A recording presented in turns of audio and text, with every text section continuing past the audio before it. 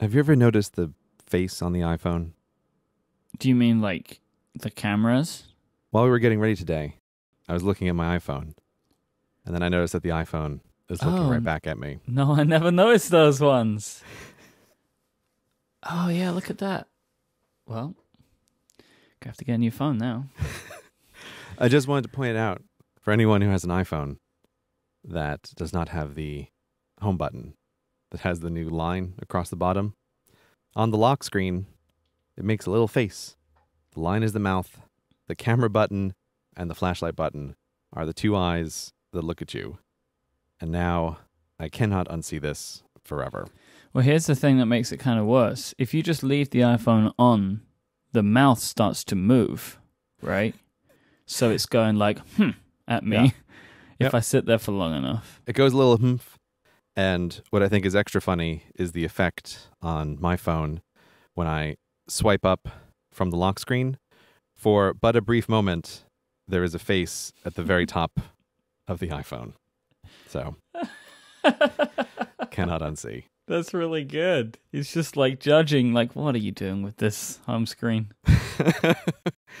Maybe I'll make this my new background. I'll just screenshot that face at the top of my phone and leave it like that. God, that would be brilliant and also be so confusing. iPhone, always judging. How you doing, Myke? I'm good. I um we're gonna talk about the American meme today. American meme. We're gonna talk about that later on in the show. Mhm. But I watched it today and uh it is it's, it's actually a pretty depressing documentary. Well, I found it pretty depressing. Wow, spoilers, Myke. Well, I, wished I would have been able to warn people uh, beforehand, but I didn't really know much about it. Uh, but yeah, it's I found it fascinating, and we'll get into why. But Mhm. I don't know if it was the right pre-show uh, entertainment for me today. But Probably not. Probably not. not the, the thing to put you in a, a real cheery mood right Mm. before starting a podcast. Just question everything I know and uh, be just judge my own existence and my own uh, career. This is it's all good. Feeling good. Good. I'm glad you're I'm glad you're feeling great. Yep, feeling real good. I wanted to ask you actually. Uh, I Mhm. feel like there is a, a thread that we never um, we never got back to, which was something that you I think you mentioned you would update us on towards the end of the year, which was a, one of your mysterious projects. I don't have any mysterious projects, Myke. Project uh, Golem.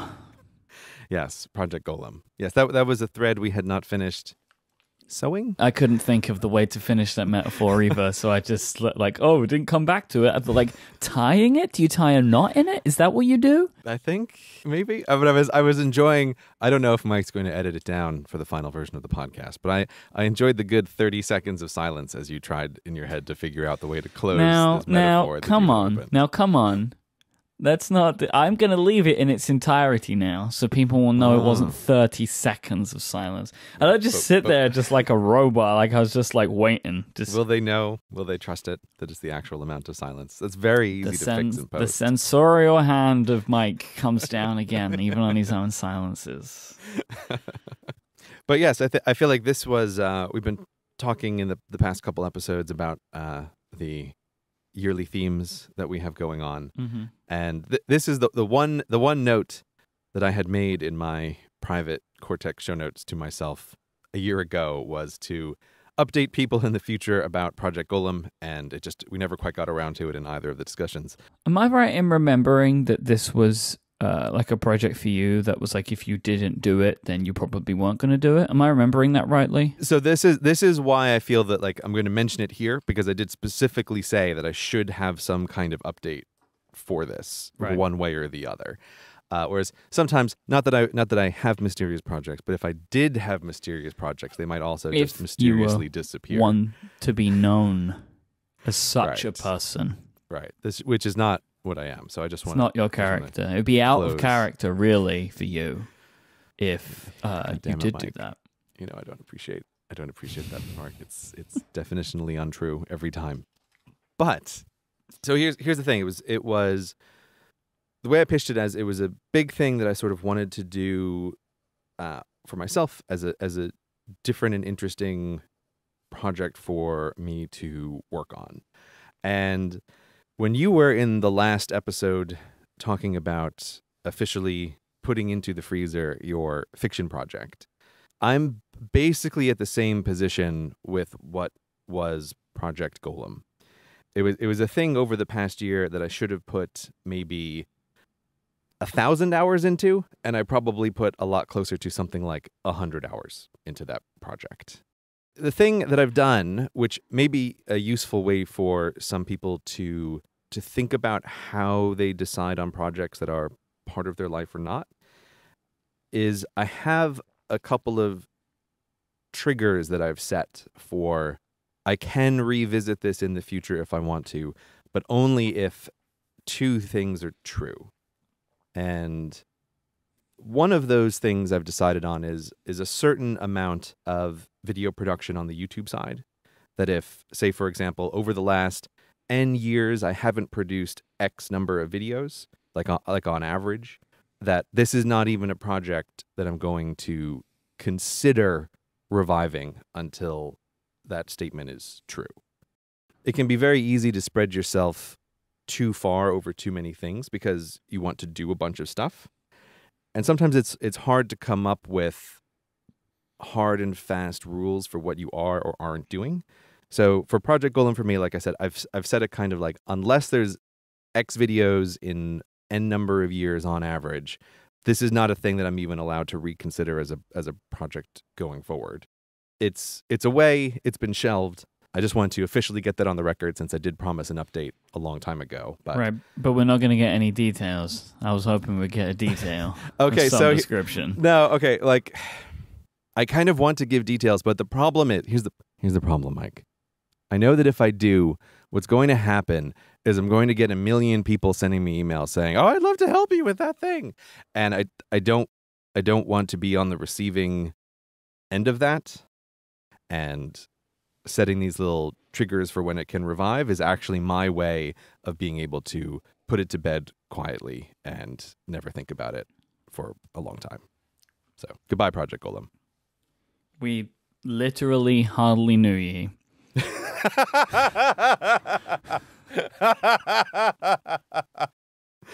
Moving right along. I was really, I was really thinking like, oh, we're gonna get some details. Nope. Myke, do you even know who you podcast with? I don't know if you do. I was surprised to see it in the document. I was like, oh wow, okay. Look, I just wanted to close the door. That's all it was. While we're here, Uh huh. it's February. Yeah. You have not returned to the internet in full capacity. I'm just wondering that's another project that has now kind of passed its review deadline. Mhm. You're just staying away? Like what's happening? Do you have like what's going on with you? I'm fine, thank you. Not coming back anytime soon. That that actually to relate to Project Golem a little bit. I do have a, I do have two things that I definitely want to do and finish before I even consider returning. Right. Uh, so there's there's two projects that I want to finish before I do come back, but I don't know. Uh, I, I'm kind of liking it out here. It's nice, uh, floating, floating in the void, sort of separate from whatever is occurring in the maelstrom of the internet. So I, I feel I feel like I'm doing I feel like I'm doing pretty well. Do you miss anything? Yes, yes. There are things there are things that I miss, and I think the two there's two clear downsides. Uh, downside number one is I'm clearly more disconnected from a lot of a lot of people I would classify as professional colleagues or conference friends or other internet personalities that I'm acquaintances with. And that to me has always been one of the primary use cases of Twitter in particular, uh, but the internet in general is having an awareness of what a bunch of Mm. people are up to. And they're people who I wouldn't I wouldn't necessarily like we're not necessarily going to have an instant message conversation, but it's nice to have this level of acquaintance.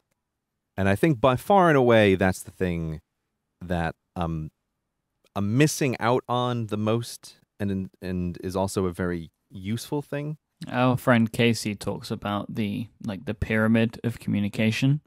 Mm-hmm. If you imagine right at the very top is like a phone call, Right. and then right at the very bottom is like an email newsletter or something.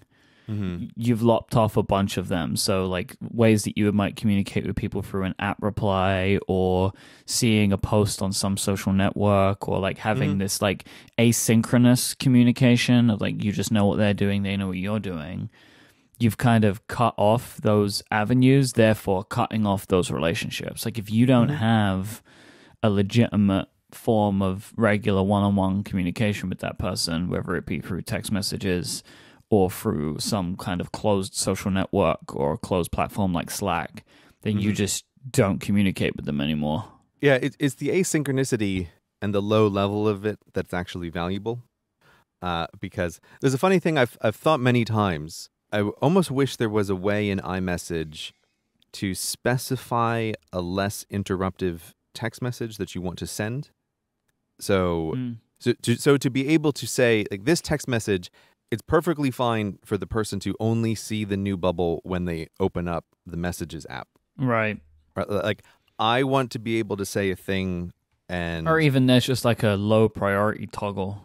yeah, or yeah, or something like a low priority toggle that I mean, this is of course you, you immediately run into this this email problem, right? Where an email, uh, some clients will show that people can specify like an urgent email, or I, f- I forget exactly what this little system is, but I, I remember when I was in school, sometimes you would see that emails would have like three There was a- exclamation marks next yeah, to it. That's a yeah. that's a priority system that was in like Lotus Notes and Outlook and stuff.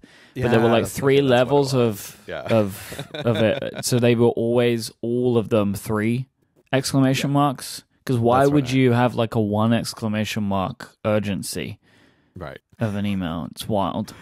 Yeah, and you'd have some people in a business setting who would only send like it was just set as default or whatever on their outgoing messages that all of their messages were were three exclamation marks. Every email that I send demands a reply, so they are all urgent by nature.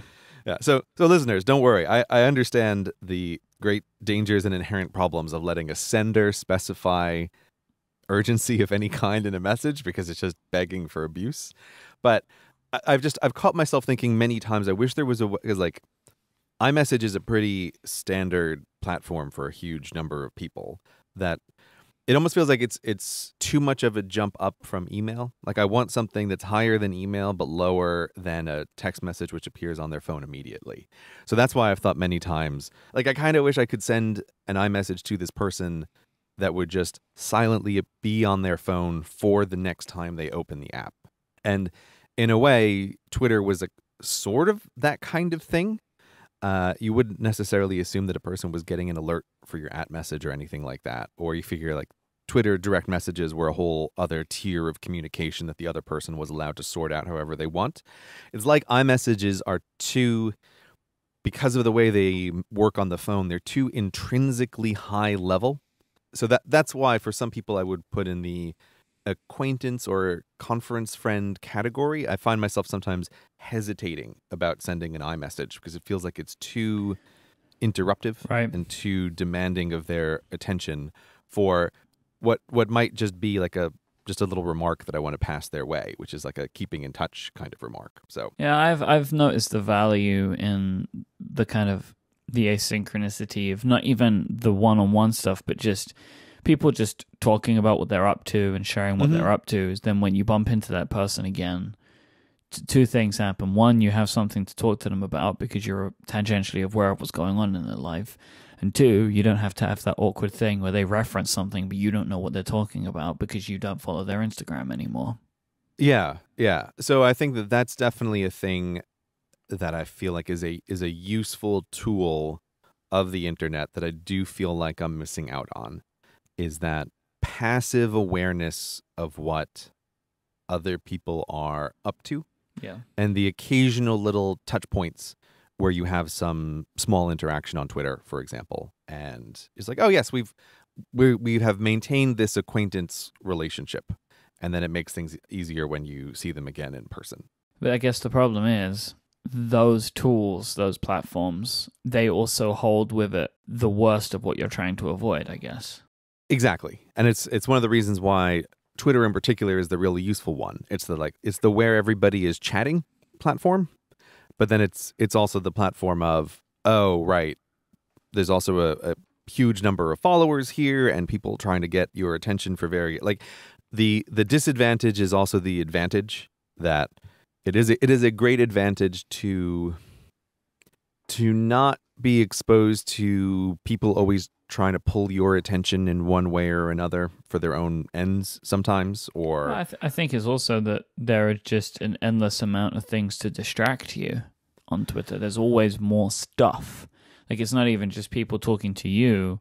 You can just go and find more things always, constantly. yeah that's true i, I mean I, I think for me twitter on, on the how much was i distracted by it spectrum was always relatively low uh, you know something like reddit and hacker news were vastly higher on the how how distractible does my Sure. brain find it spectrum Mhm. Um, but I guess what what I'm trying to articulate here is the the thing that is the advantage and the disadvantage is a kind of silence. That the, the silence is really useful, and it's a thing that as time has gone on, I feel like I'm appreciating more.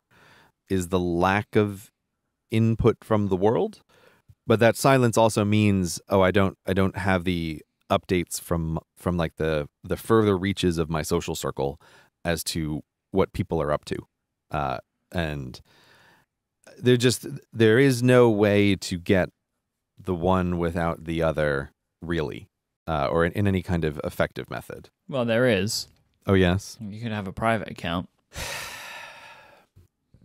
i don't i don't know I mean, you could. I, I don't think Yeah. that I would recommend it. I, I think that it, it has a lot of trade offs, right? Like, it just Uh, how would- how would that work i'll come i'll come back to the internet and set my twitter to private and what boot a hundred thousand people off of Well, it no, no, no. But you could set up a second account, right? You could just set oh up a like second a account no secret oh, account. forget it no for, oh that's a lot of hassle yeah. It's not as much hassle as you would as you would think it would be, but y- It it's an sounds like a option. But. I don't But then you've got to like then you got to re-follow it and you follow like seven people. It's hard. It would be hardly difficult for you, but yes. sure. okay, but like here, here's here's here's the other thing, and this this will you know this this may tie a little bit into the movie we'll discuss eventually, but it's it's also the thing that having one account, which is the CGP Grey account, means that there are people who are following me that it's like it's useful to know that and to be able to sometimes reach out to people through which there's no other real communication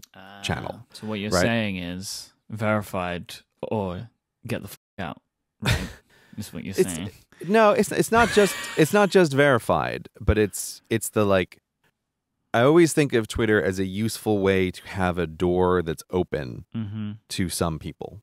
And by having a bunch of people following my Twitter account, it makes that Twitter account a real resource in some ways uh, that I've been able to take advantage of sometimes. So that that's why the private account is like, oh, this is this is no good because I'm not going to get other people following my private account, which then defeats this other useful value of it. So that's why it's that's not going to happen. So uh, I'm not going to I'm not going to set my account to private. Although there is a part of me which thinks that would be kind of hilarious if I did that coming back from the internet. like, hey, Yeah. everybody, I'm back. Uh, tweet number one: This account's now going private. Goodbye. outta It would be kind of terrible, really. yeah, I don't think that I don't think that would win me a lot of friends to do that sort of thing. This episode of Cortex is brought to you by Eero. With Eero, you can build a Wi Fi system that is perfectly tailored to your home. Considering the high bandwidth world that we live in today, you need a distributed system at home to make sure that you can get the best speeds available no matter where you are in the house or what it is you want to be doing. And with Eero, you can install an enterprise grade Wi Fi system in your home in just a few minutes. It all starts with the second gen Eero device. It has three 5 GHz radios, which allows for increased speed and range, and it sits flat on any surface connecting either over Ethernet or wirelessly. Then you can easily expand that coverage throughout your whole home by adding in Eero beacons. These are small devices that plug directly into your wall, allowing you to reach every corner of your home. And Eero is now introducing Eero Plus. This is designed to provide simple, reliable security to help defend all of the devices in your home from malware, phishing, and unsuitable content. Eero Plus can automatically tag sites that contain violent, illegal, illegal or adult content, so you have powerful parental controls at your fingertips. It includes ad blocking functionality to help improve load times for websites that are full of privacy invading ad tracking, and it's also possible to have Eero Plus check the sites you visit against a database of millions of unknown threats to prevent you from visiting anything malicious. Eero Plus even includes subscriptions to 1Password for password management and Malwarebytes for antivirus solutions. Eero is super easy to set up, and one of the things that I love about Eero is the fact that you can very easily set up a guest network. So if you have people come over, you can just get them on the guest network really easily. And their app is super awesome. It's super clean. You can see what devices are connected to your network, and you can turn things on and off if you need to. It's super super awesome. It's just part of the whole Eero package. Never think about Wi-Fi again. Get $100 off the Eero base unit and two beacons package and one year of Eero Plus by going to eero.com slash cortex and at checkout use the promo code cortex that's e-e-r-o dot com slash cortex and the code cortex for that $100 off and a one year of Eero Plus. So you can get yourself $100 off the Eero base unit and two beacons package and that one year of Eero Plus. This is an awesome deal. Our thanks to Eero for their continued support of this show and Relay FM. So that is thing number one that I miss, and that's the thing that is useful. The other, the other thing, this is so hard to articulate.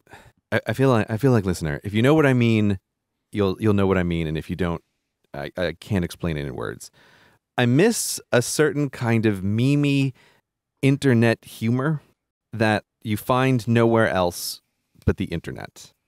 As I, I just, I always have this feeling like the internet is this terrifying wild west that's also just hilarious in a way that no other place is. Where you, where you have like meme mutation across this, you know, hundreds of thousands of users, and humor can be really quick and really obscure sometimes. And so th- there's a certain kind of humor that I feel like there's no ability to replace this with any other medium. It's so intrinsic to what the medium is that it's not replicable. Because I think part of what makes it satisfying is if you get it, you feel like you're a part of something, yeah, that's a, that's a good way to articulate it. and you know that like other people won't get it. Like if you weren't there to see that meme mutate, or if you don't know what it means, or you're not part of the community making the joke, and something just flies by, you can just think, "I don't understand that," yeah, but other people find it hilarious because they get it. yeah, and I feel like it's the the thing the thing that to me is like internet artwork, internet genius is when a meme has been used a hundred thousand times in one particular way, and then someone finds the way to turn it in an absurd new direction, and that humor only works because the other way is so ingrained into your brain, and it, it- like that's a kind of unexpected humor that's born of an intense repetition that you're just not going to get anywhere else. The most perfect example of this, Mhm. which you were probably thinking of, is a meme called Loss. Uh, I'm I'm not sure. I'm, I don't think this is what I'm thinking of. I'm not Okay. thinking of anything in particular, but This is a perfect example of this. It's this weird, like, cartoon, this like upsetting cartoon that results in somebody dying, uh-huh. and it's been mutated into a million ways to the point that oh oh this is the this is I know this one. Yeah, right. there's right. like four, like these like four intersecting lines with a bunch of other lines can can symbolize loss. I'll put some Right, links in the show it's- notes that try and explain loss. It's it's Control Alt Delete. I, I, I recommend I recommend a link for you to include. I don't know if you've seen it, but there's a YouTube channel called hbomberguy, okay. and he he did a 45 minute I think YouTube episode just about loss. Yeah, it's this. So this Yeah, is a good so- example. Loss is a meme that I don't really know other than like knowing that it exists in this format, right? Right. And, and so I've found out kind of what it means later on. But this is like a perfect example, I think, of meme internet humor. It's like it tricks you because Mhm. sometimes you're you're looking at a lost meme and you don't realize it until you realize it. Um, Right. and you're only going to get it if you know about it. And if you don't know about it, it's just going to go by you. Like, same as like, kind of maybe on a more kind of general level, like Rick rolling. It's like a Mhm, similar yeah. thing. Like if if somebody sends you a link and you and you get to the Rick Astley song, if you don't know what Rick rolling is, it doesn't mean anything to you. It's just like Mm. someone sent me a dumb song. But if you know what rickrolling is, you get the meta joke. Right. Or then the thing that I love is is someone does a mutation on that where the joke is almost you're expecting to get rickrolled Yep. and so, and something adjacent to it happens and it's like, "Ah, that's great. Like it's really good what you've done there." Mm-hmm. Uh, so, it- but I, I, I, I've been thinking about that a bunch because it, it's just a really good example of how a change in medium allows a, a different kind of expression. And yeah, me- memes are, are sort of dumb and jokey, but I also love it. Like I've always loved this stuff. Uh, I, like I've always, I've always deeply loved the like the crazy wild westness of the internet like the you know the intrinsic coyote spirit tricksterness of it. And there's something about a certain kind of memey humor that feels like it expresses this really well or when you know people are just making the terrible mutations of a joke and you can twist it around where it, it's so bad but it gets repeated so often it becomes its own thing.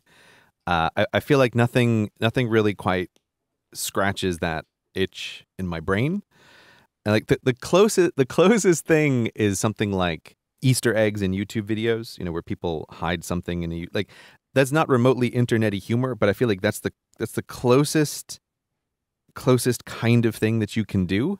And I think it is it is no coincidence that my most recent video, the airplane boarding video, is I think maybe the most packed with Easter eggs chock of full. any video that I have done. Yeah. And like I'm, I'm kind of dying to know if people have caught all of them, but there are so many. You could do a video about the history of Easter and have less Easter eggs in that video than you do in the one you've currently got. Yeah, uh, but uh, like, but I think that was happening partly because of a kind of frustration in my brain. Like, this is the closest thing I can do.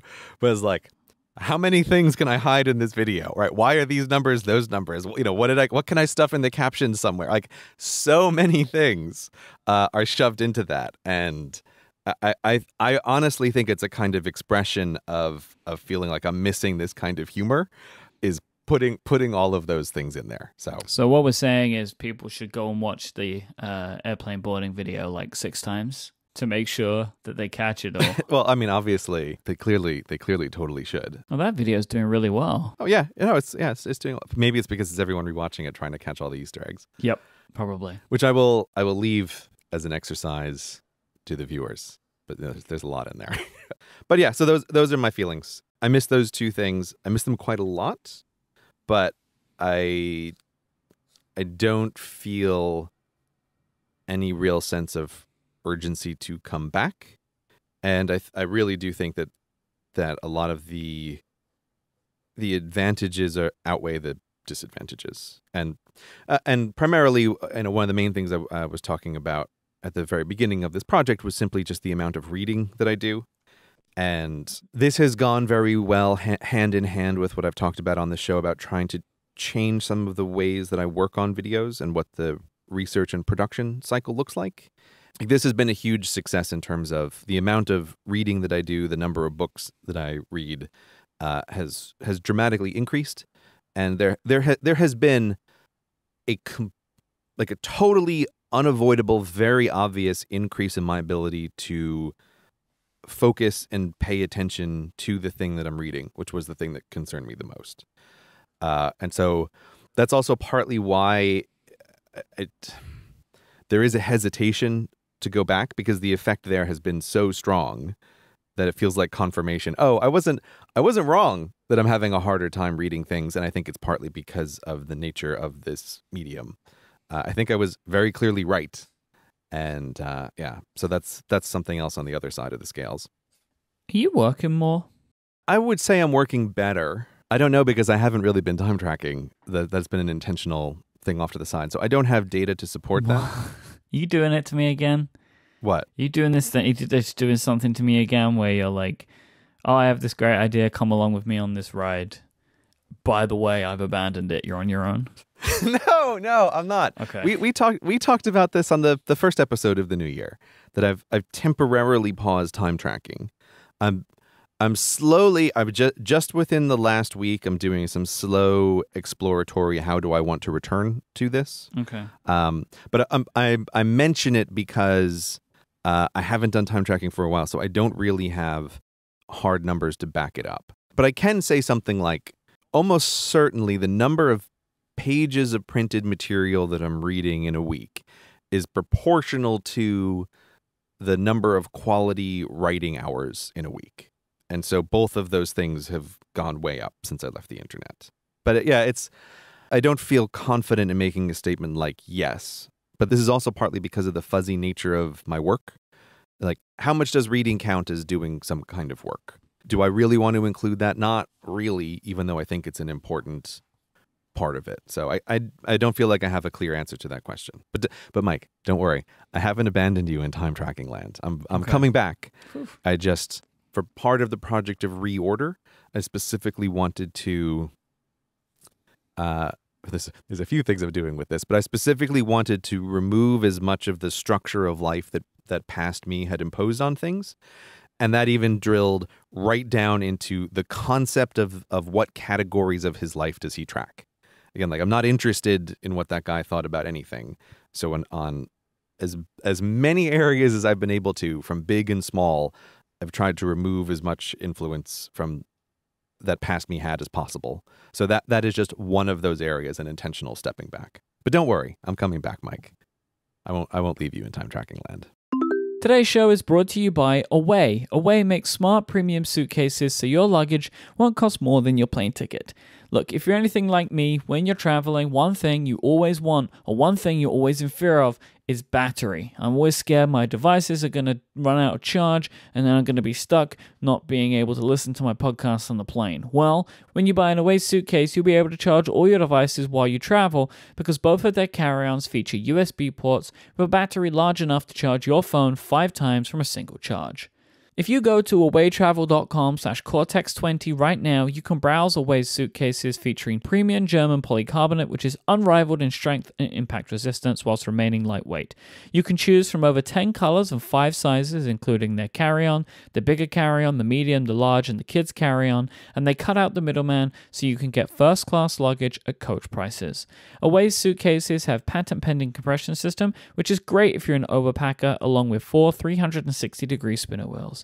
The carry-ons are compliant with all major US airlines while still maximizing the amount you can pack, with TSA combination locks built right in. Also, Away suitcases feature a removable washable laundry bag so you can separate your clean clothes from your warm ones. Last weekend, we had a little staycation in London, and both me and my wife Adina, we both have away carry-ons, and we were able to get everything that we needed in there really easily for our weekend. When I was walking through London, I was able to just have it either on four wheels or if I'm going over rough terrain with the cobble streets of London town, I could just pull it back on its two wheels and just pull it behind me. And then when we got home after the weekend, I just took the laundry bag, I opened it over the hamper, emptied it in, easy. I love my Away suitcases, and I think that you will too. Away believe in the quality of their products, which is why they offer a lifetime guarantee. If anything breaks, they will fix or replace it for life. And they also have a 100 day trial with a no questions asked return policy for free shipping on any order within the lower 48 states of the US, but they do ship to many destinations around the world too. Go to awaytravel.com slash Cortex20, and if you use the code Cortex20 at checkout, you'll get $20 off any of their suitcases. That's awaytravel.com slash Cortex20 and the code Cortex20 for $20 off. Our thanks to Away for their support of this show and Relay FM. The American Meme. uh, Netflix original documentary uh, follows around a selection of um, influencers, some social media influencers, and also has a lot of interviews with other individuals, uh, people who are uh, famous on the internet, people who were famous on the internet, that kind of thing, to kind of reinforce what's going on. Uh, it's a very well made documentary. Uh, I liked the presentation style. I liked that it had something to say. Like it clearly had a a point that it was trying to make.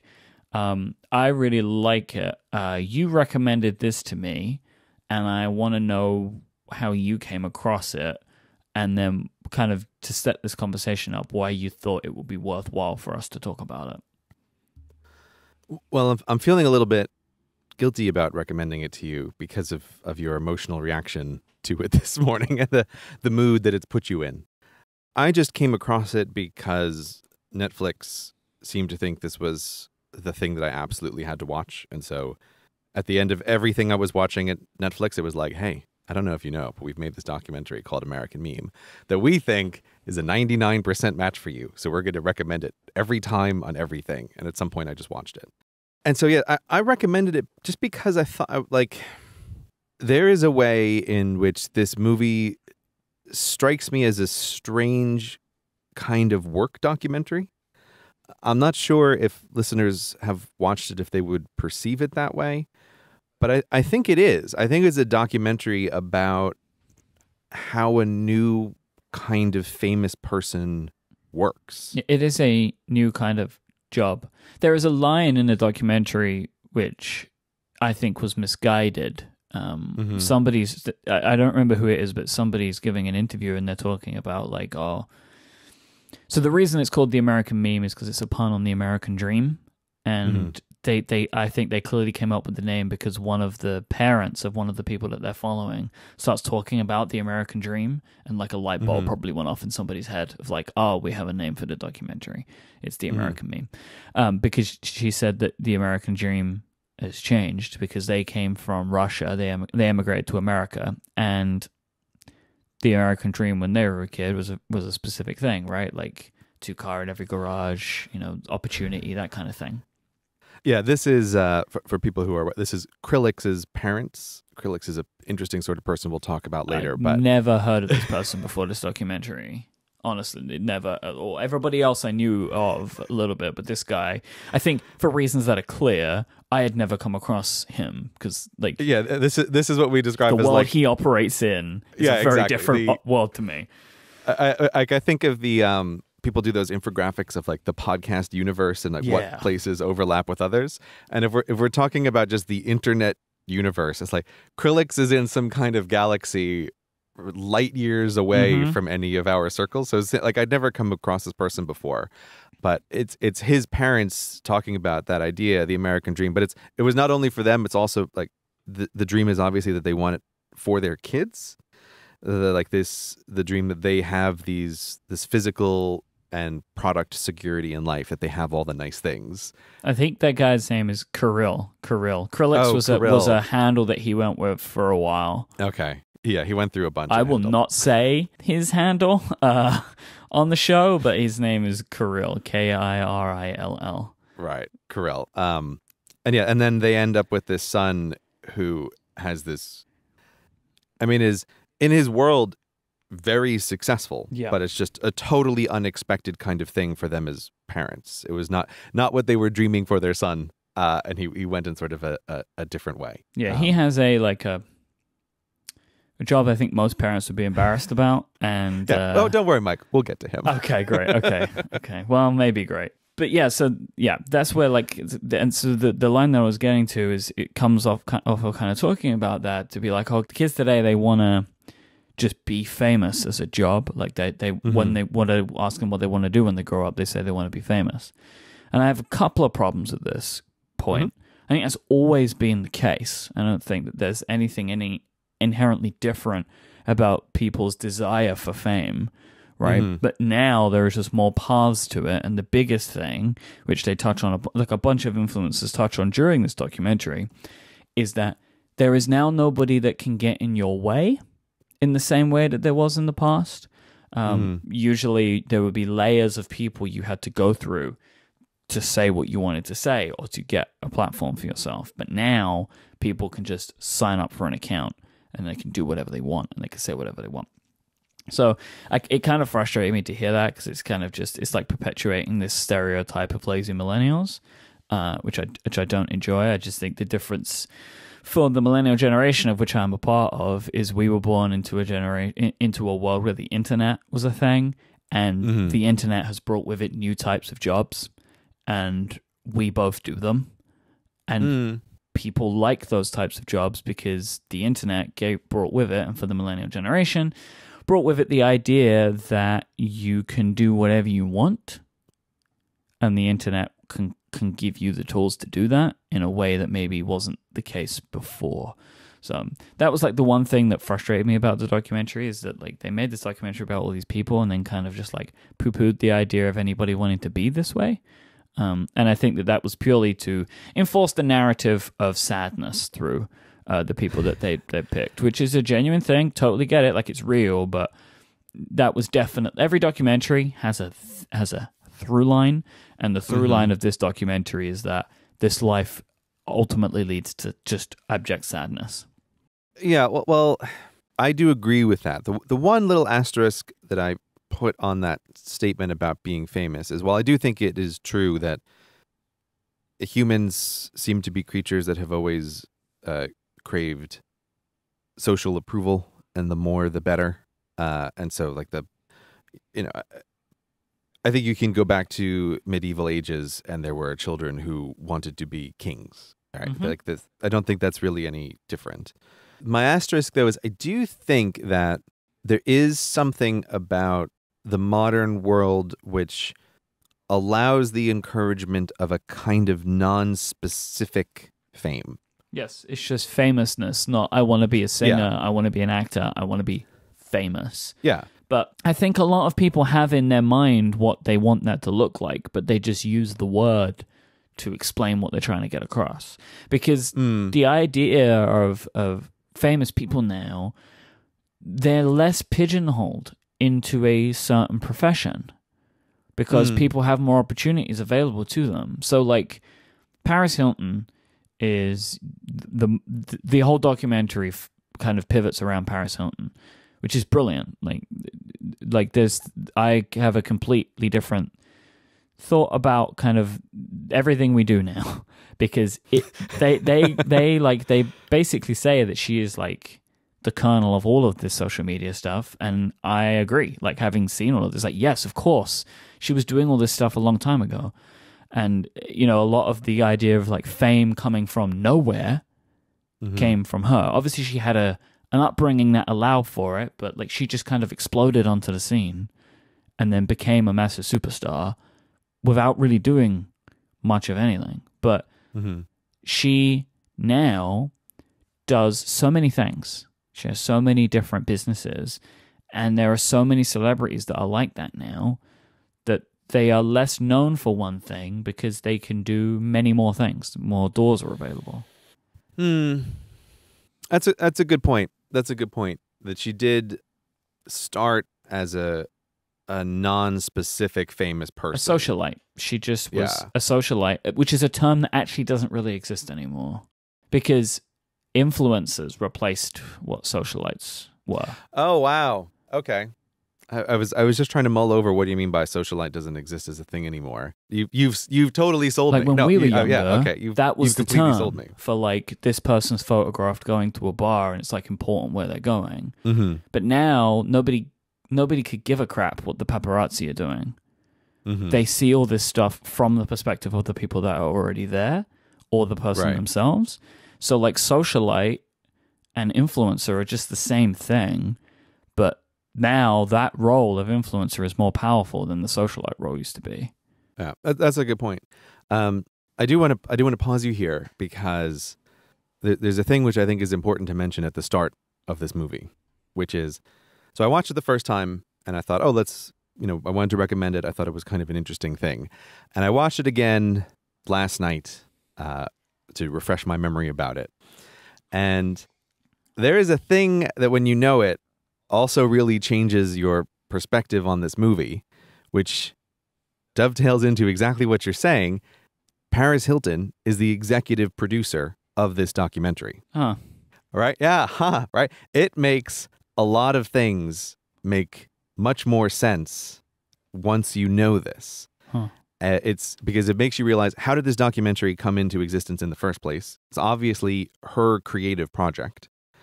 And then the second time I'm watching this documentary, I just kept thinking the first time I saw it, I was impressed by Paris Hilton does so much more stuff than I really had any idea simply because I had no reason really to pay attention to Paris Hilton. Again, like she's she's off in like another orbit, totally unconnected to my own orbit. But then the the next time through, like I kept being much more impressed with how crafty she is, and I was paying much more intention attention to like what parts of her story is she telling in this documentary, and what are what are other people saying about her in this documentary upon which she is also an executive producer?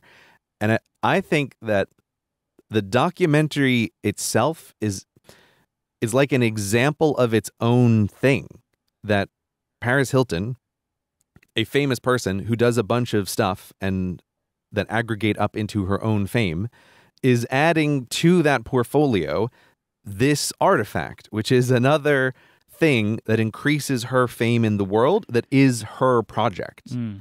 Like like the like the movie, I don't know, I found really on the second viewing the movie like twists in on itself in this interesting way. In in that in almost any other circumstance, if you found out that a documentary of which there was one primary subject, that person was also the executive producer of that documentary, you would feel a bit like, oh, I've been deceived. It's totally thrown thrown everything into question about what is here. But this is actually a perfect case where no, this is this is an example of the very things you're talking about in the documentary. It proves the point. Yeah, it proves the point. It's like this is another Paris Hilton project brought to you by Paris Hilton to increase the overall fame of Paris Hilton, which is also incredibly successful because I before this came along, I probably haven't thought about her in 10 years. Like I remember her exploding onto the scene when I was younger in the early stage of her career, seeming to come out of nowhere and then being absolutely everywhere. And I haven't thought about her in a long time. And then through this documentary, she is reinforcing her fame through a group of people who either haven't come across her or just haven't thought about her in a long time and made a really interesting thing to further this point. So I just I just wanted to mention it because I think it's it it makes the documentary more interesting watching, but it's almost a spoiler to mention it ahead of time. But I found it fascinating when I was watching the credits, being like, wait a minute, executive produced by Paris Hilton. Amazing. Oh, fantastic. This is great. yeah, that is really amazing. Like I, I, you know, again, like I was, I kind of found myself astounded going through it, like listening to her talk about the things that have happened in her life, and like she she references a commercial that she made for Carl's Jr., which is a Mhm. fast food chain in America, that was too hot for TV Mhm. and like she kind of she made this commercial and then realized oh this is interesting like i can i can leverage this idea again and like just the way that she talks about some stuff that she did in her past and like the some decisions that she made from it were just it was just really clever and i also just feel really sorry for her too um at certain points like there's this one moment where she's talking about the paparazzi Mhm. and she's standing in front of this artwork that she has in her home, which is a picture of cameras, and it flashes, and you can also she can also turn sound on, and it can make the noise of camera bulbs and stuff.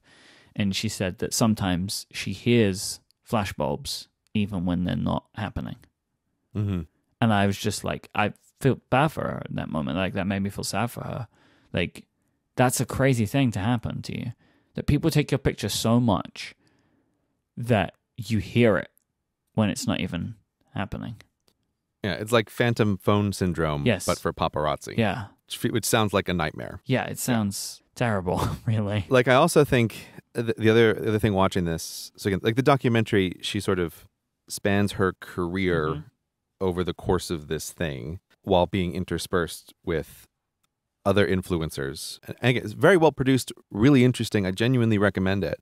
But the other thing that I can't help but perceive as a meta purpose of this project is that it's she's reinforcing her fame, but by the end of the documentary, she's she's using the documentary to I could be reading too much into this, but I feel like she's really walking you to the conclusion of why she may be withdrawing from public life to some level Yeah.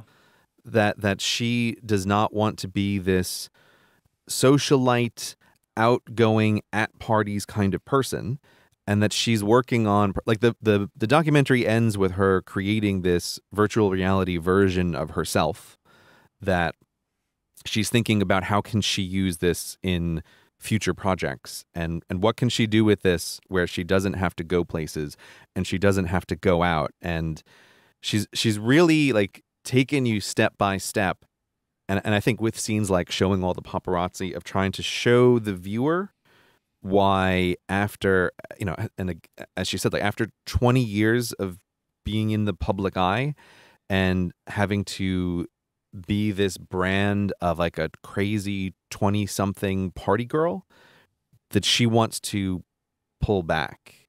And so uh, like I don't know. I, w- I was just looking at this and Yeah, again, thinking, like. God damn it, it's really clever. Like this is also a clever way to, with your fans, maybe start to delicately suggest that you're not going to be around as much or you're not going to be visible as much, and and this is like a document that you can point to that is very sympathetic towards that case. Yeah, because at the beginning, I feel like she's going a little too heavy on the way that she interacts with her audience. Mhm. Um, but by the end of it, I kind of believe it. Like at first, I'm like, "There's no way this is true." Like she's talking about how much she loves her audience and that she FaceTimes with her audience. Like sometimes, like she will exchange phone numbers with people and they'll have text messages. And she says like she otherwise feels lonely and that her audience kind of gives her a sense of family.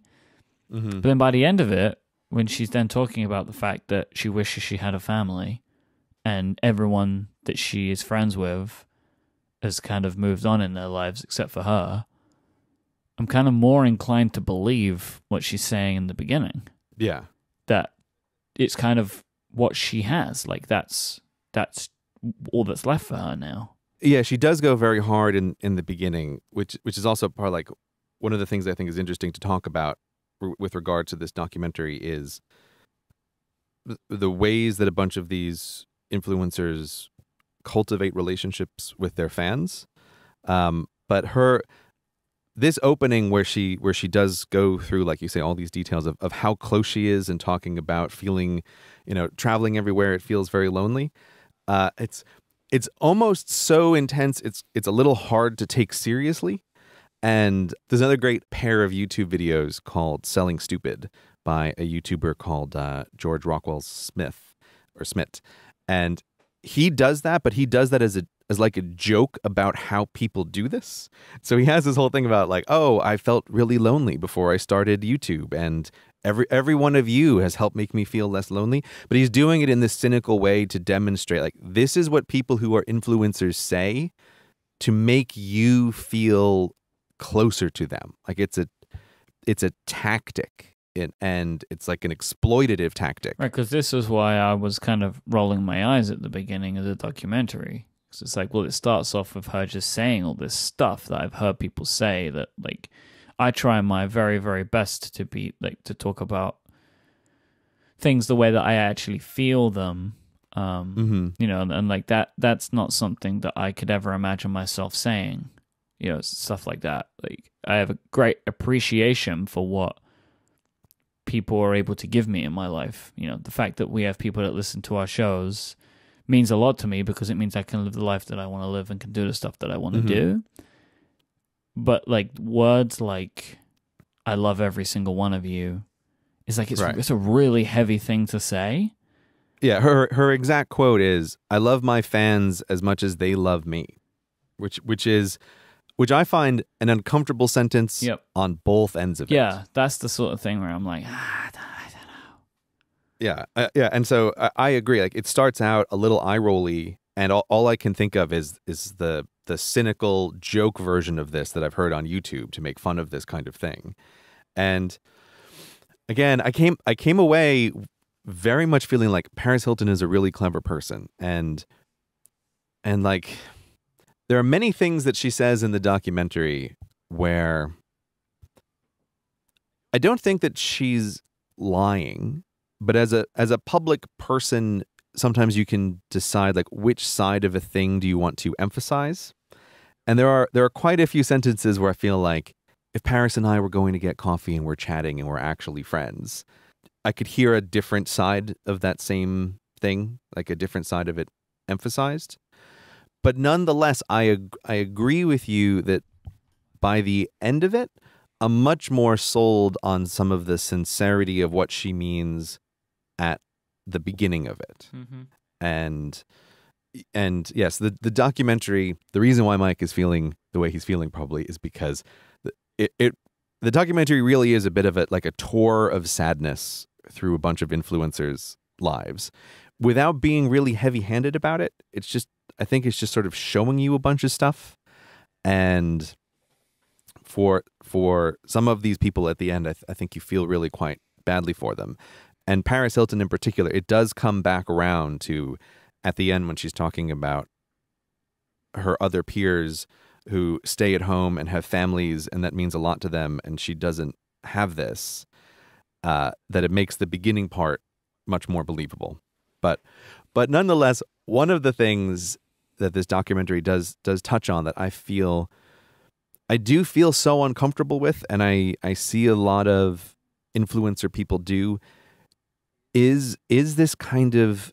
family talk about their fans and I, I, I really I, like this kind of stuff. Just always makes me feel so uncomfortable, and I, I think it, it often makes me think of of what we've discussed before, the corporate thing where a company tells you that we're all family members here. Like, like when I when I worked at a school and they're like, we're all just a we're all one big family taking care of these children. It's like, well, no, not really. Uh, Um, it's By the way, that's super weird to say, especially when there's children involved. Like it makes it super. It makes it so much worse as like a Uh, yeah, I like- thing. Yeah, I heard that, and I was never, I was never able to be like, how do you want me to parse this sentence? Uh, like, the the way I think you want me to parse it is as a kind of, you want the loyalty that I would give a family to exploit, right? But like, we're not a family in any meaningful way, and this is another person in the documentary, DJ Khaled, who I will say comes across to me as being vastly more either disingenuous or just well i'll leave it as disingenuous with his is like all of my fans are family and when someone shouts out my name on the street i'm like boom stop what i'm doing. That's family over there. Like i gotta say hi to this person. Fam love. yeah it's and it's that kind of stuff makes me really uncomfortable. And i don't know if it's too far to say it but there is there is something when i see people do that that that feels it feels a little exploitative.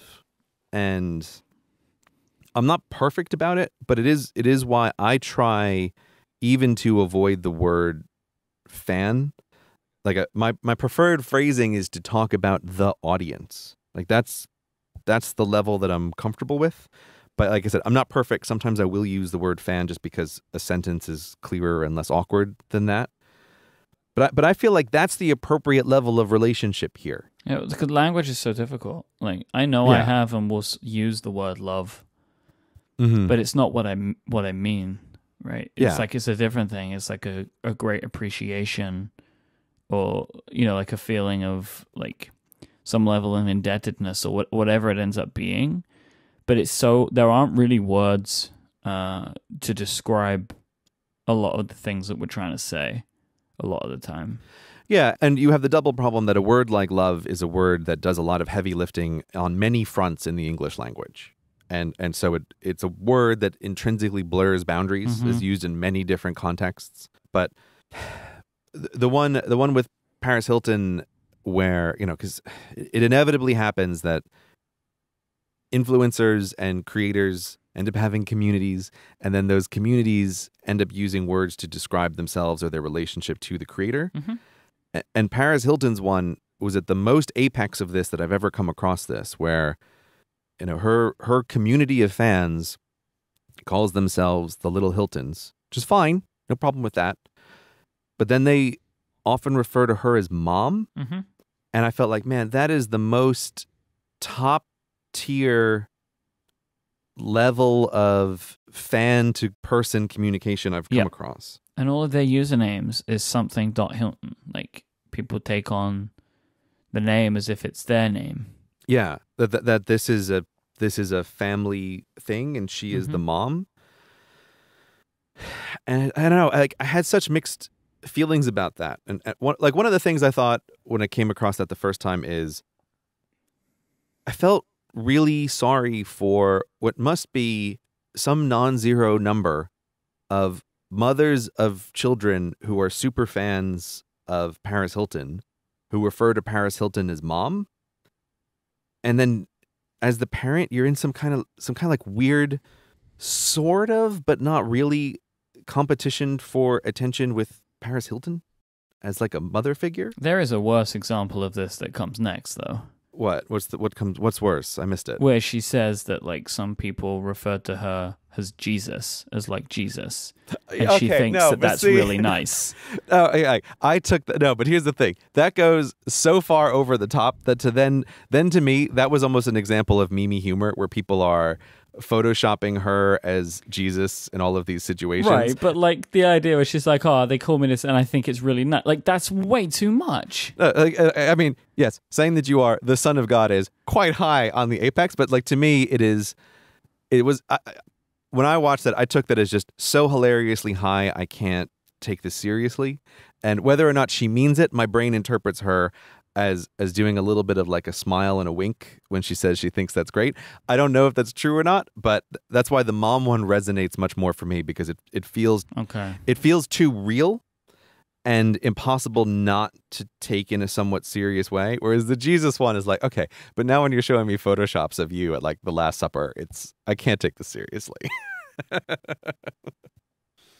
I don't know. Am I like? Do you think I'm too sensitive about that sort of stuff? But it's it's just something that o- that always strikes me. This this cultivation of a relationship. I would say you put a lot of emphasis into the meanings behind words, Mhm. which on the face of it is a silly sentence to say. It's not. I don't think it's as silly as as you think it sounds to me. No, but like, it, like I mean, like just on the face of it, that that's just a silly sentence. You care about what words mean, it is something that that is true about you, and it's something that's rubbed off on me a little bit over time. Mm-hmm. Like for example, one I never tried to use the word lucky. Mm-hmm. Like I'm so lucky. I try not to use that word very much. I like to use, say fortunate instead Mm-hmm. because for me personally, like I feel I work really hard and have worked really hard for what I've got. And lucky would implies to me in my mind that I did it, it had nothing to do with me, right? That- Right. That, I was just right place, right time. And I obviously believe there is an element of that. Of course there is. There's an element of luck and there's an element of right place, right time. But I also had to work really hard as well. So I consider it more fortunate. It is good Mm. fortune for me to have the job that I have. Um, I have been fortunate. I have been lucky slash worked hard for it. So that so like that that's the kind of thing that I focus on.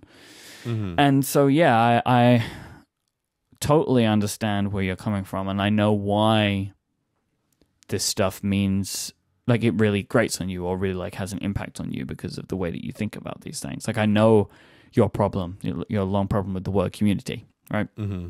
But at the same time, I've heard you say it. Oh yeah, uh, that, but that's what I mean. Like I haven't been perfect about it. Yeah, and it's no, because we impossible. it's impossible to be because- yeah. if you hear people say a thing all the time, it just becomes part of what you say. It's like in the same way that my accent has changed over mm-hmm. time because of the people that I talk to. Like, it's not even just my American friends who I talk to for my shows. I can tell that my Romanian wife is changing my accent right. and yeah. it's changing. Even the words that I use, like talking to Adina, like there's just some some ways that words are structured and sentences are structured. If you are Romanian, so if you Mhm. speak English and you're Romanian, there's certain words that you use in in orders that sound weird to a native English speaker, and I find myself doing that a lot Mm-hmm. now. So yeah, th- this is just a thing that happens. So hearing Yeah. people say, "I love all my fans," and we have such a strong community, you're gonna say it at some point because you keep hearing Right. people say it all yeah, the time. yeah, and and, and because I, think the uh, like I'm trying to think of the most technically correct way to phrase a thing would be something like, "I am glad that the audience keeps showing up." Is it like a terrible sentence to try to convey multiple times in many ways? Yeah, And then you you compound this as well with something like, uh, you know, and and again, partly why I thought American Meme might be interesting to discuss because wh- while we've mentioned these people are in different galaxies than us, this is also a work documentary that is adjacent to what we do. And so I will have conversations with industry people in which I will just completely use the word community because it's it's the conveyance of an idea and to to try to be more precise about it is runs against the purpose of language which is to communicate with someone else in a professional context. And and so yeah that's that's also why like it just it just seeps out and it becomes the word. And it's also possible to imagine that in 10 years that the the newer sense of a word like community just completely has washed over the old one so much that this becomes an objection which goes away as well right because Mhm. words words change and they're flexible over time but but i just i don't know i just i still think at the at the very top seeing paris hilton as mom slash jesus and dj khaled's fam love of for his family of millions of followers i just wonder how much of that is engineered to intentionally create a, a kind of intensity from the audience because I, I know that that is a thing that people do like intentionally try to engineer an intensity. And i feel like family level intensity is too far. Like it's it's too much. Um i mean to, like to go back to go back to the thing we were talking about before why do i like to put easter eggs in my videos? One of the reasons is because like that's the kind of thing i always like in videos and i think it's rewarding to a certain kind of viewer who likes those sorts of things to go back and then try to hunt down like what are the little in jokes and to me that feels like an appropriate level of reward and intensifying of fandom but the family level it just just makes me just makes me uncomfortable. But that may be why i don't have 100 million followers on instagram because i'm you know, That's because you just don't use it. But I don't, I don't know if Instagram is the right platform for you personally. I think Instagram is, is the best platform for me, Myke. I can't imagine a platform on, on which I would have more success than I did but- want to note that actually that this documentary almost entirely focuses on Instagram as social media. yeah, For, for a lot of this documentary, the phrase social media and Instagram are one and the same. yeah, that is very true. And I found that to be kind of fascinating, but makes complete sense. Why do you think it makes sense? Because for most people, well, Instagram is the most mainstream social media platform now, Mhm. of which people share themselves, right? So Facebook exists, yes, but Facebook isn't really an influencer driven platform. It is a Mm-hmm. people you know platform. And then, Right. so then of the other ones, of the other big platforms, you have Twitter and you have Instagram. But Instagram is a much more successful platform for influencers because they get to influence you with influential things that you can see. That's the point, right? Mm-hmm. Because there's like a lot of talk about ads and like the amount of money people can make from ads. You know, numbers have thrown from fifty thousand dollars per post to a million dollars per post Mm-hmm. and I really like there is um uh, somebody they, they used to be on Vine. I don't really know much more than the person's name, Amanda Cerny, Mm-hmm. and she says uh, people walk away from ads on TV, Mm-hmm. and I just love that. It's, it's true. People don't want to see ads on TV, but they will consume ads to sponsor content on Instagram Mm-hmm. because it's people that they believe in telling them a thing. You know, like it is, there is an implied relationship going on which says, I trust this person, so I'll pay attention to what they have to say. Yeah, and it's also reflected on the industry side in in ways that I find quite breathtaking.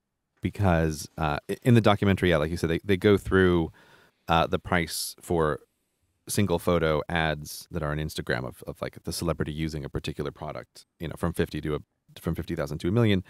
Uh, but the thing that, that is much more I mean, those are big numbers, but what's also much more striking to me even than that is is the audience size for those things. So that like the industry slang for this is like cpm right? How, how much does it cost to get a thousand people to see your ad? And you know, different industries have different rates, and you know, we we've sort of discussed like podcasts have a pretty good rate compared to other mediums, and I think it's partly because people are hearing the podcaster talk for so long, and then the podcaster does those ads. It's actually a similar thing. So the the influencer is an endorsement led advertising, Yeah. which for a lot of podcast advertising is the same, uh, because you trust us. Which I Mhm. would just say as like a as a line, which is why I sell her ads, Mhm. because I know how important that relationship is, and Mhm. I don't want to take advantage of that.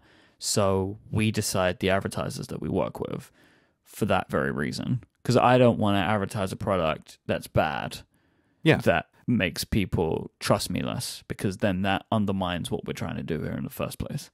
Yeah, and th- and there's a synergy here, right? That if, like if you are a trustworthy person and you're you're not just doing any ad, right, but you're selecting the ads, then that will probably increase your CPMS over time because you get a higher response from the audience. Yep. Like it's a it's a feedback loop. Yeah. And and so like podcasts generally have much better CPMS than YouTube videos. Just like not always, but on average.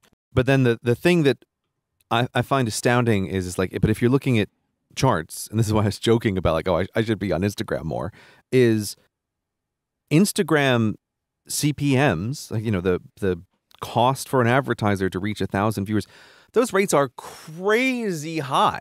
And it is just astounding to me how much more valuable to advertisers a photo on Instagram is worth than anywhere else. And that's also why it, it totally makes sense that if if you are trying to play this game of being an influencer, Instagram, that platform is worth a hundred times more to you than something like YouTube, just straight up from an advertising perspective of the effort that goes into producing a photo for an ad and, and the rates that you're going to get and the frequency that you can do it. It's crazy. Um, but that is that is also why the documentary is so heavily focused on Instagram, because people who are playing the influencer game, they're not dummies. They know that's where all of the money and the attention is, and that and that's where you can really integrate yourself in someone else's life from the audience perspective of of what are people looking for. So again, it's not it's not uh, it's not my platform of choice, but I I find it just a from my perspective, it seems like a very surprising outlier in in terms of rates and response and audience. But it also but it also makes sense. People like looking at pictures of people. And that's that's what Instagram that's what Instagram gives you. This episode of Cortex is brought to you by Squarespace. Make your next move with Squarespace because they give you all of the tools that you need to make a wonderful website for your next idea. Squarespace is an all in one platform. There's nothing to install or patch or upgrade. They take care of everything so you don't have to. Squarespace has got it covered. And they have your back with award winning 24 7 customer support. So if you need any help when setting up or running your website, they will be there whenever you need it. Squarespace lets you quickly and easily grab a unique domain name so you can put a wonderful name to your website and people will know exactly where to go. And when they get there, it's going to be beautiful because all of Squarespace's templates are professionally designed. They're all beautiful and very customizable. I love that Squarespace is full of different functionality. If you want to add an online store or a blog, you can do that. If you want to add a portfolio, you can do that. If you want to add maps or music players, Squarespace has all of this stuff built right in and it's drag and drop to easily customize. When we were getting everything set for our wedding, we set a Squarespace website up. It's super easy to do it. They have templates that are specifically built for it, and we were able to integrate all of the tools that we needed to make sure that everything was taken care of. Squarespace is great for any type of web project that you have, but don't just take my word for it. Go try it out for yourself. Go to squarespace.com/cortex today, and you can sign up for a trial with no credit card required. Their plans start at just $12 a month, but you can get 10% off your first purchase of a website or domain and show your support for this show if you use the offer code Cortex at checkout. Once again, that's squarespace.com slash Cortex and the offer code Cortex to get 10% off your first purchase. Our thanks to Squarespace for the continued support of this show. Squarespace, make your next move, make your next website. There's a quote at the beginning of the documentary from Kirill where he says, My real life isn't that interesting, so I feel like I have to put on an exaggerated truth. And this is a thing that I hear a lot, and I, when I see people say that like Instagram makes them sad or they don't Mhm. like it is because they feel like all they're seeing is this exaggerated truth and it gives them the fear of missing out, like FOMO, right? Mm-hmm. And I find it really interesting.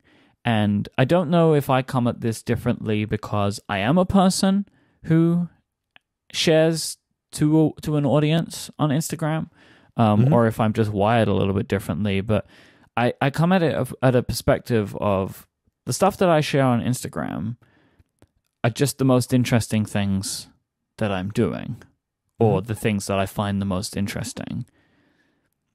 I'm not personally going out of my way to manufacture anything in my life to share on social media. Like, there are just, these are things that I'm doing, and I'm choosing to share what I think is the most interesting.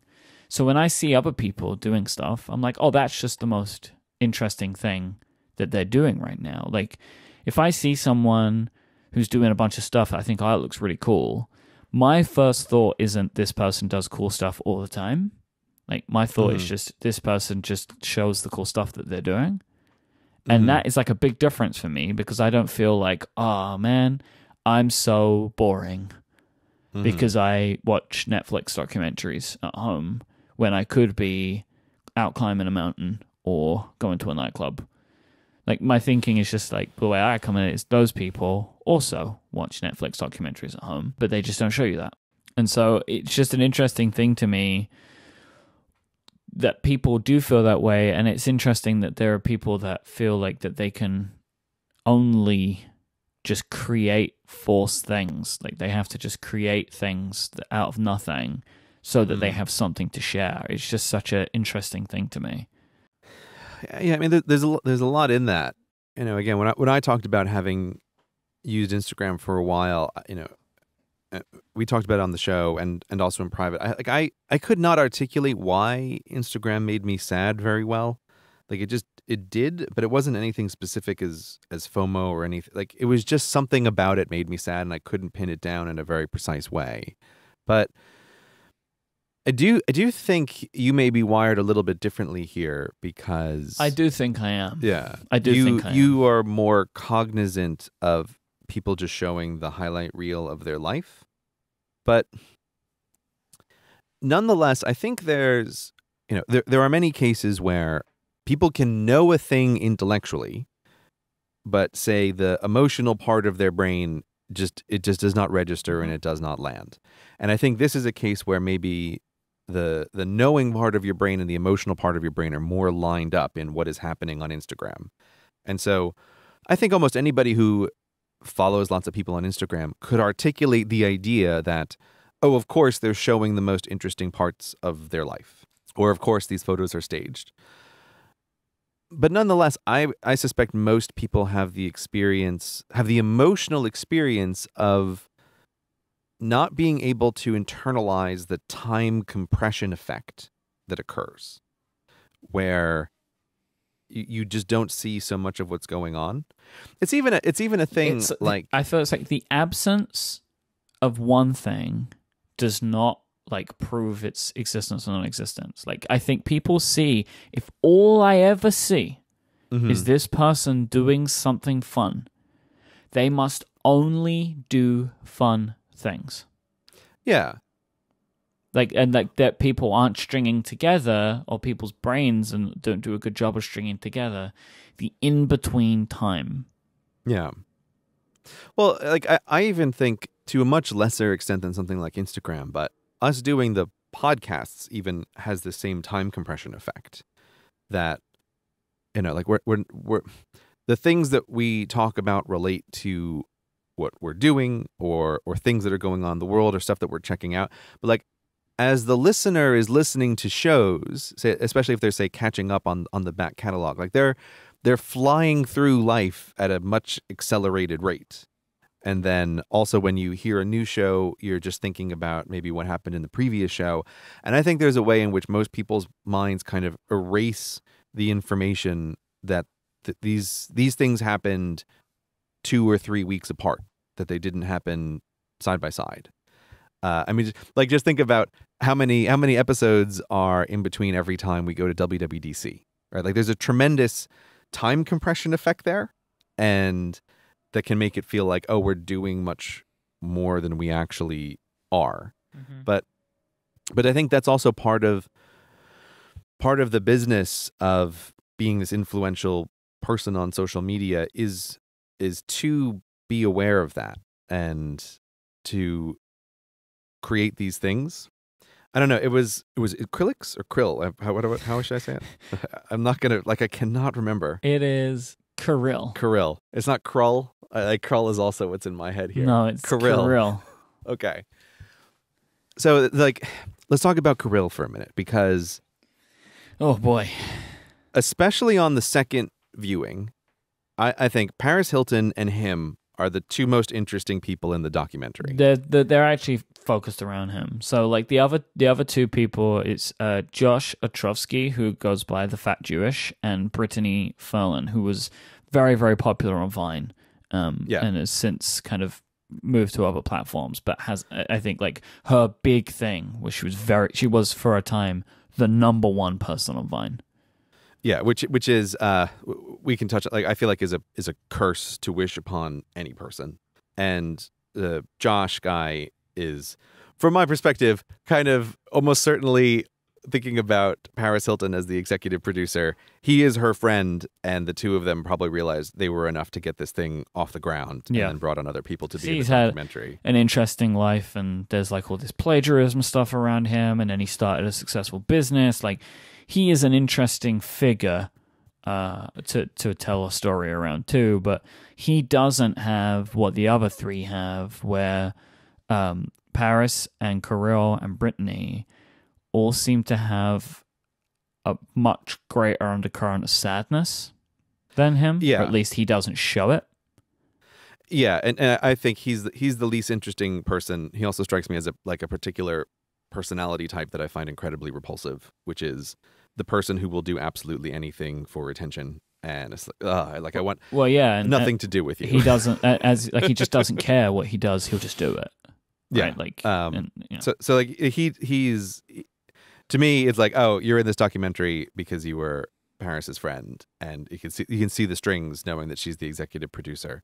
But uh, going back to Krull and talking about his life. Kirill great how are we gonna do this do we need a different name No, no, it's fine. Well, we can't use his actual Instagram handle. No, we The cannot use censorious hand of Myke would be too much. Um, even yeah, but so there's there's this there's this thing with people who have public personas, which I find annoying. Is where where someone will say something like, "Oh, I have a public persona, and that public persona is not me." Mm-hmm. that you know it, it's nothing like me. And then if you're in the position to actually meet these people very often it's like oh your your public persona is you. Like it, you don't seem any different. You know like you're you're not Andy Kaufman playing a character here right? You like this is this is totally you uh, and Josh in the documentary strikes me as that way. Like I have a, it's impossible for me to conceive that he's any different in real life than he is the way he portrays himself in the in the video, which is part of the reason why I find him less interesting. But Kirill has has this real arc of sadness across the documentary. So wh- when you're introduced to him, he he is introduced and comes off as basically like a total bro asshole party guy. And his like I don't even know quite how to describe this job, but his, like his job is to be the party at bars and events. he is effectively the hype person at a party Yeah. he is creating games what weird and wonderful and wild things are occurring around him all the time and he is Mm-hmm. effectively making it a night to remember for the people that attend the place that has hired him he's Yeah. like no, I was gonna say he's like a magician, but I don't think that's the right way to put it. Like I don't really know how to describe him. He's also an example of a, a thing that I think is interesting to keep an eye out for, which is you sort of look at this guy online and you think, oh, this guy's just just this party bro, and it's very easy, I think, for someone to look at him and think of him as this this idea of like, oh, he just got lucky doing this thing, but anyone could do this thing. But his his backstory is this like, oh, he actually was trying to be an animator, and they show some of his artwork. And it's like, oh, he was actually skilled enough to be an animator. Like that's a thing he could have done. Not just an animator. Specifically, he wanted to work for Disney, yeah, which is so wild when you then see what he does for a living now. yeah. But it, it, like, I think it's a good example of here is a person with talent, and he's trying to figure out a way to expend this. And so he's initially wants to be an animator, and he's he's good at it, but he decides this isn't the path for him. And then from from there, he's they sort of brush past it really quickly, but he's doing a little bit of stand up comedy. Like he's working at comedy clubs, and he must have been good enough to get access to pretty serious people because he then translates this into being the photographer. And I think it's such a smart thing that he says that like he wanted to be around the important people backstage and so he had to figure out how to make himself indispensable to those people. And it's like, man, what a like that's su- it's such a clear way to think about something that many people don't where they're like i want to be famous i want to be in the green room right? But he's like how can i be useful to those people? And so then he's he's taking photographs and he's a very skilled photographer and and so skilled like he's flipping through these pictures that he he took and and real professional musicians are then hiring him to do photo shoots with them like oh we only want this guy to do our photos while he's on tour uh, it's it's Nas. He still has like the official iTunes photograph for like it's crazy how good he was at this. And then at some point, this is less clear to me, but he starts to transition on his Instagram to taking photographs of parties and like taking photographs of crazy debauchery, but also kind of making it look beautiful. It's and and where he gets his fame is he's he did a series of photographs of party girls getting champagne poured on their faces.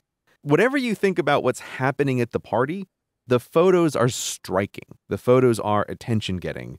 And that seems to be what launched him because he he notices that this starts becoming a thing that when he is the photographer at events, people are requesting that he does, like pour champagne on me and photograph it. And this this somehow becomes his his transition into being this professional party dude slash photographer. And I find it interesting because I think it's a, it's a good example of someone trying to trying to like navigate by compass what are they good at what's useful what are people requesting and he even has a really quick line in the documentary about how it's like it's so sweet. He has like the sweetest Russian mom in the world who's like she's just so cute and she's talking about, "Oh, he was always such a good boy and he never got in trouble and he always went to school on time and all this stuff, right?"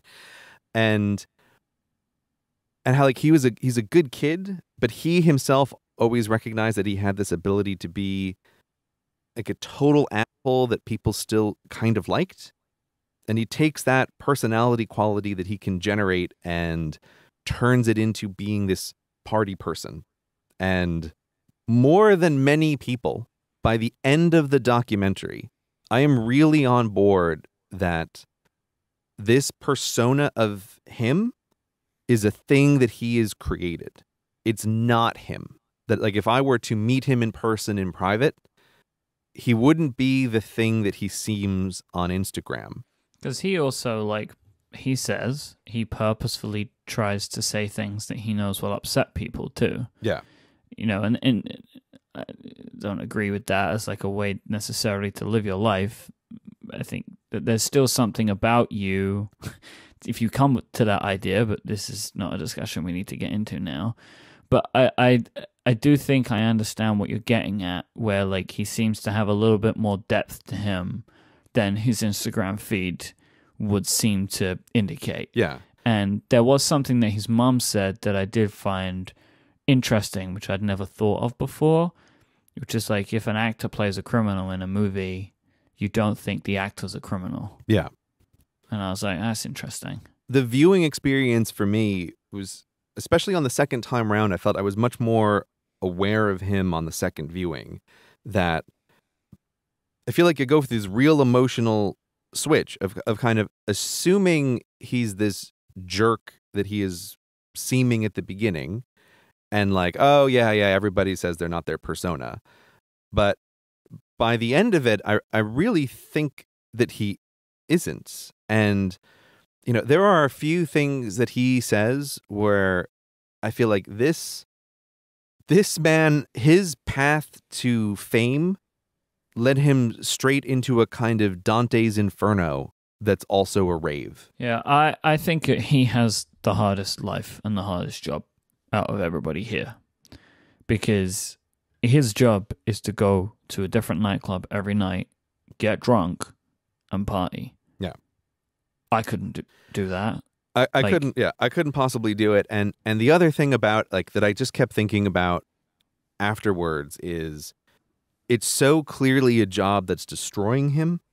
And it, it's destroying him physically. It's destroying him through just the tremendous amount of alcohol consumption that he basically has to do to be part of it. And it's also destroying his ability to relate to people. Like he he has a is a quick little line, but he talks about how have have you ever tried to talk to people they're awful and I hate them all. And it's like, whoa. And it, it it strikes me as a really genuine line, but I think it's Well, also also he's saying like, have you ever tried talking to a drunk person when you're sober? Yeah. Well, so this is the thing. He says, you know, that that's even worse than just talking to someone, and that he Mhm. has to get down on his level. But the the thing the thing I kept thinking of was like, like, of course this is going to happen because every night he's he's entertaining the Morlocks, and like he's he's got to go into these places, and I think it's fair to say that these kind of mega parties also attract a certain kind of person. And then he's interacting with essentially exclusively these people and is also in a customer service role in a way. Mm. And it's like i cannot imagine a more perfect storm to create out of what was possibly a disney animator the world's most intense misanthrope that, that like that seems to be his arc and i feel I feel the worst for him at the end, even though he seems like the biggest jerk at the beginning. there is like a, a thread that sums up towards the end of the movie of like how are you supposed to get out of this Mm-hmm. like and and and it really focuses on Kirill as well here so what's he supposed to do next now Mm-hmm. like he's in this life what is the next part of his life like what do you do Mm-hmm. and it shows some people who have moved on right so you know like it, it shows uh josh the fat jewish he's created a wine company Mhm. and so he's like well i've got my out now i'm i've created a thing Mm-hmm. which can uh, he says like what do i got like three years doing this character this this person Mhm. this influencing but now i have a business and there's there's a there's a guy whose name escapes me which is kind of funny considering his point in the documentary as the guy who was in a britney spears video right. Yeah. since erased himself from social media and he's kind of talking about like these people are stuck because what do you do where do you Mhm. go like you can't just reinvent yourself like what if nobody wants what you want to do now and they Mhm. don't care about what you do next and like that is a real fear for people in any kind of entertainment but i think even in a way it is way harsher on people who live for likes. Yeah. And and the and Brittany, the Queen of Vine, is is just like the really harsh example of this. Yeah, because her platform was stolen from her. It was taken away. Yeah. That it, it, it disappeared. She was the number one person on Vine. Uh, and in particular, that, that case, uh, I, f- I feel really bad for her because she was also the number one person on Vine right at the beginning. And she also has to then deal with the, the, the statistical inevitability that as a platform dectuples in size, the person who's the number one person at the start is probably not going to be the number one person at the end of an mm-hmm. incredible increase in size. Like that's just the way platforms work as you bring on viewers. But like Especially it's funny because one the first person to knock her off is a friend of hers who she introduced to the platform. Right. And then there's the next person to go above her is another friend that she brought to the platform. And I can't help but notice the little remark where she says something like, he did it right, Im- implying that the first person to knock her off, like maybe there's some animosity there. But mm. but still like no matter no matter how much you tell yourself about what matters and what doesn't matter, it has got to be psychologically crushing to be like, I'm the number one person on this thing and then to boom boom boom get ratcheted down to be the number but but the number 10 person on the thing. Like that has to be really hard. And then it all goes away.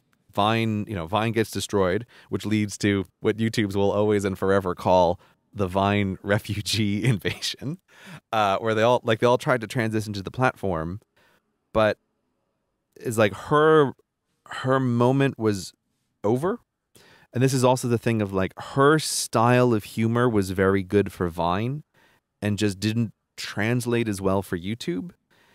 And it and you know, it's it's so crushing as she's trying to get into acting and and real roles. And the very fact that she was such a well-known person on Vine is now nothing but a detriment to her. That people don't want to consider her for an acting role because she was this Vine girl.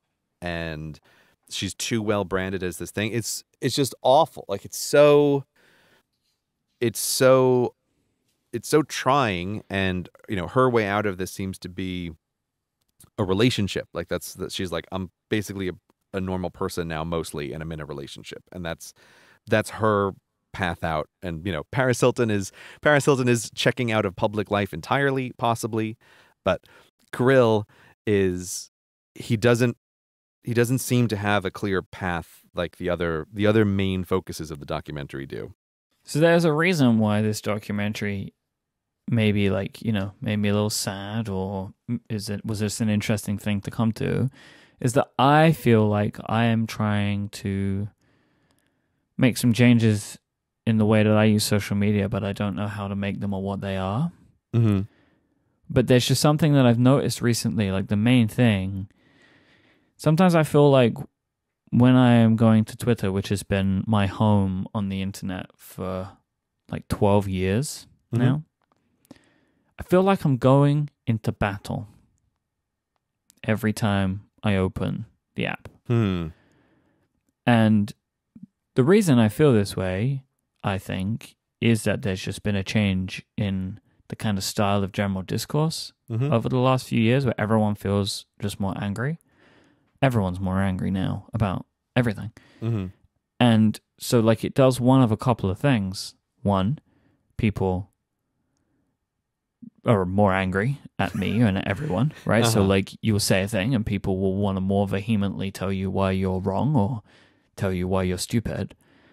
And the other is, I know I perceive more people as being angry at me than they probably are. Mm-hmm. And this is not a thing that I feel on Instagram because people aren't really talking to each other very much. Right. So, like, I have increased my usage of Instagram, but have not decreased my usage of Twitter for a variety of reasons. Like, I have a note in my Apple Notes which is titled Rules of Engagement. And I've been trying to, like, plan out on there, like, where do I want things to go and what do I want them to be? Mm-hmm. One of my biggest problems is my hot takes. Hot takes get everyone in trouble.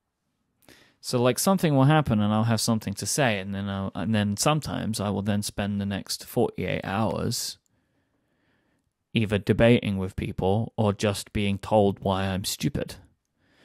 Right, this is just a thing. You know, this is a thing that happens to a lot of people and it I know it's not necessarily exactly as it, that seems, but that's how it feels, you know. Because as is normal, the thing I think we've spoken about, we've touched on, it's not an original thought of the idea of like the bad stuff stays with you more than the good stuff does. Right. It's just a thing that happens. It's just a human nature thing. So yeah, I just think this has hit me at a time where I'm like feeling like I want to change some stuff. I don't want to leave Twitter. I, that's because I get so much out of it personally for Mhm. many reasons. You know, like it is a great tool for me to tell people what I'm up to. Um, it's a great tool for me to understand what's going on in people's lives, like which is exactly what you were talking about, right? Like the thing that Right. you're missing. It's it's great for that. And it's also like my most valuable feedback mechanism Hmm. yeah, like it really is like most of the time it it's great like the feedback that i get in reference to the shows that i'm doing is disproportionately better than the feedback i get from the tweets that i post right so if i say something on a show and people are reacting to that thing by and large it's helpful stuff Mhm. or they're telling me some thoughts about it but if they're reacting to a tweet that i've sent it tends to be more angry Right. You mean you mean like a like a tweet hot take? mm-hmm Okay. So, you know, I think it's probably because my hot takes on podcasts, I can explain them. right. I have more than 280 characters to get my opinion out. Um, and or there's such a barrier to entry that typically by the time that people have opened the, the Twitter app, they probably they don't care about telling me why I'm wrong anymore. Right. So, you know, I just figure like I don't want to leave any platform, but I want to change what I put into them all because I have such a valuable mechanism to share my opinions, which is this that I don't really feel like I need to give my best opinion for what for likes and retweets. Like that's why I'm doing it. Right? Like I'm sharing a hot take in the hope that it gets retweeted a thousand times. Like that's why I'm doing it. That's why everyone does it. You wouldn't do it otherwise. So maybe I need to stop doing that. Um, but at the same time, there is a line at the beginning which calls all of this stuff a new drug. Yeah. I was opening my Instagram whilst watching this documentary uh-huh. because like we've had some big life events happen over the last weekend and people were very engaged with the things that I've been posting. Right. So it's just this self fulfilling thing. I don't know. I'm at a point where I'm looking to try and think more and be a little bit more considered about the places I share things, not necessarily about how much I'm sharing, and that maybe my hot takes are best served lukewarm multiple days later on a podcast than they are in 280 characters on Twitter and that I just continue to get feedback and share stuff that I'm working on, things I'm excited about on Twitter, and more things about my life on Instagram. Like that's where I think I'm kind of settling. Hmm. The problem I have is sometimes I really can't help myself. Right. Sometimes that hot take, it feels so hot. You got to get it out of your hands right now. Yeah, and the only people that can can really deal with it are the people that are following my Twitter profile. I don't know. This is just it's just like I feel Mhm. like this has come at a time when I'm already thinking a lot about this stuff, and I don't really have a lot of parallels to the things that these people are talking about. I do think that there is a, like a, a an image portrayed in this documentary that everybody that lives a life like this is sad, which I don't think is the case. I think everybody in the world has periods of sadness, Yeah. but like it, it, it, it seems this this documentary seems to claim that like if you live your life on the internet in public, that you will ultimately be sad, and that's the only path, which I don't think is true Mhm. completely.